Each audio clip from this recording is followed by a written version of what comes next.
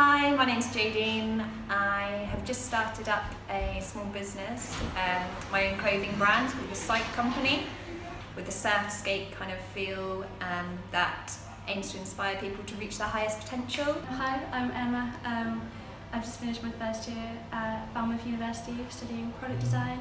Uh, my name is Jason Heaton and I'm the owner and creator of Atlantic Freestyle Football Open.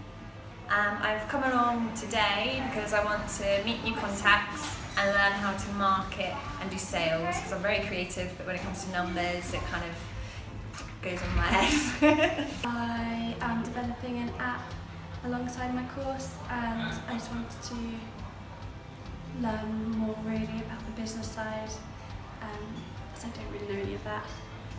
Bounce my ideas off people, hone down what I'm saying, how I'm saying it to people and hopefully just come away feeling amazing really. To get a solid concrete business plan so I can see actually how I can build over the next year or a few years. Just to learn really, um, different processes involved and to meet some cool people. Right now I want to finish my business plan. How I can delegate instead of trying to do all the work myself because it does get a bit stressful and then on those days you're like why am I even doing this but the big plan you see it it makes you excited but it's how do you how do you get there